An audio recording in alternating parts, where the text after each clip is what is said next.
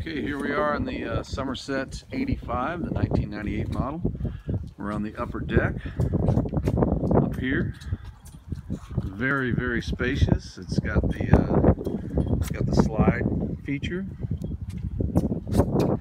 and probably 80% of this is covered by this massive party top.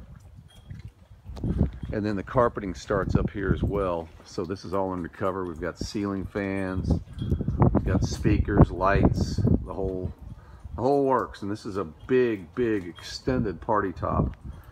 We've got uh, three sets of furniture up here for entertaining. It does have a davit right here that you can pull up a small Sea-Doo or Wave Runner or an uh, inflatable tender. So it does have a davit, which is a nice feature to have.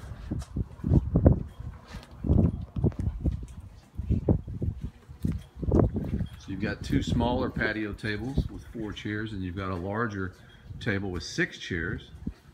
You got some more patio furniture over here. More lights and ceiling fans as you can see. You've got the uh, wet bar area with uh, chairs and so forth. Got a ceiling fan directly over it. Back here you've just got an array of uh, storage and so forth. Lots of storage. There's no uh, refrigerator or ice maker back here, but one could easily be put in.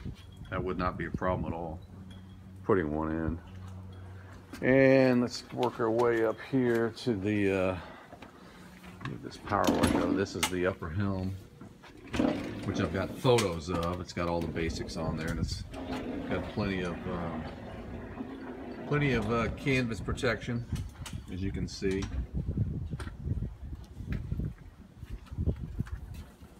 It does have the radar arch um, up here, an aluminum arch. So that's it for the uh, upper deck. We'll go down below.